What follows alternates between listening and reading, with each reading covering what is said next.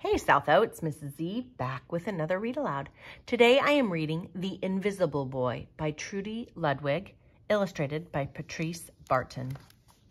Reading with permission from Alfred A. Knopf Books, New York. The Invisible Boy. Can you see Brian, the invisible boy? Even Mrs. Carlotti has trouble noticing him in her classroom. She's too busy dealing with Nathan and Sophie. So there's the invisible boy.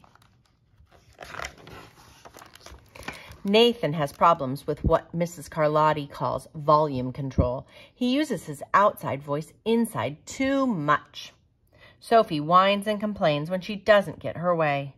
Nathan and Sophie take up a lot of space, but Brian doesn't.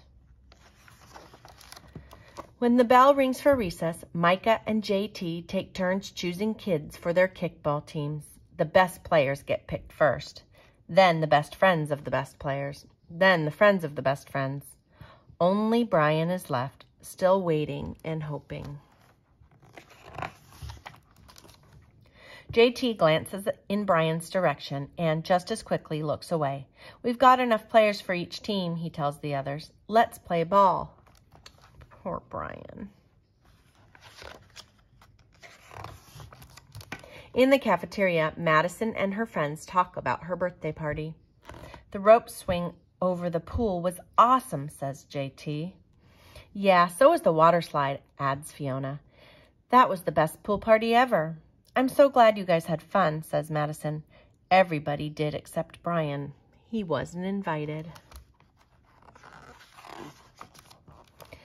At choosing time, while the other kids play board games and read, Brian sits at his table doing what he loves to do best. He draws fire-breathing dragons scaling tall buildings. Thank you for toasting my marshmallow. Space aliens locked in intergalactic battles. I got you now. Greedy pirates digging for treasure. Crackers. Arg. Yay. And superheroes with the power to make friends wherever they go. I have uh, hi, friend. Have a cookie. Hi. On Monday morning, Mrs. Carlotti introduces Justin, a new student, to the class. Brian smiles shyly at him. Some of the other kids sneak looks at Justin, trying to figure out if he's cool enough to be their friend. They haven't quite made up their minds yet. At lunch, Madison and JT watch Justin eat with chopsticks. What's that? asks Madison as she points at Justin's food. It's bulgogi. Bul what? Bulgogi. It's Korean barbecued beef. My grandma made it for me. It was re it's really good. Do you want to try some? There's no way I'd eat boogergi. And the kids laugh. All of them, that is, except Brian. He sits there wondering which is worse, being laughed at or feeling invisible. The next day, when Justin goes to his cubby to put away his backpack, he notices a piece of paper with his name on it. Justin, I thought the bulgogi looked good. Brian, yum. Oh, so Brian drew him a picture.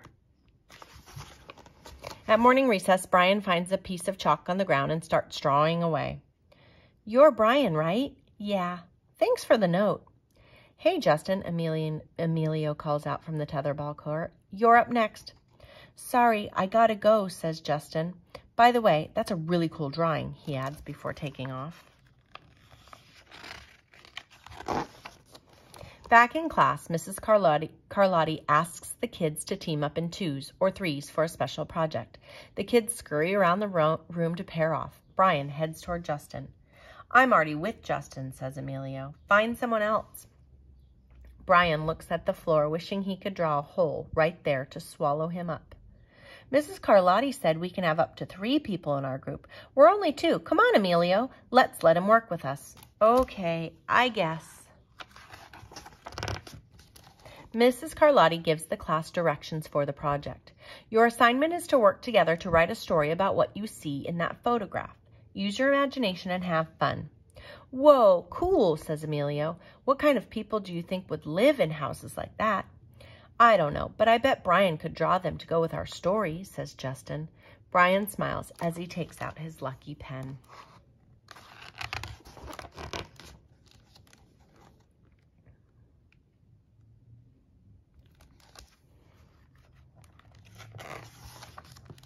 It's lunchtime again, Brian's least favorite part of the day. Another 20 long minutes of kids talking and laughing with everyone else but him. Brian, he hears someone shout. Hey, Brian, over here. Brian turns and sees Justin waving him over. Emilio nods at Brian as he makes room for him at the table. Maybe, just maybe, Brian's not so invisible after all. Cookie? Thanks.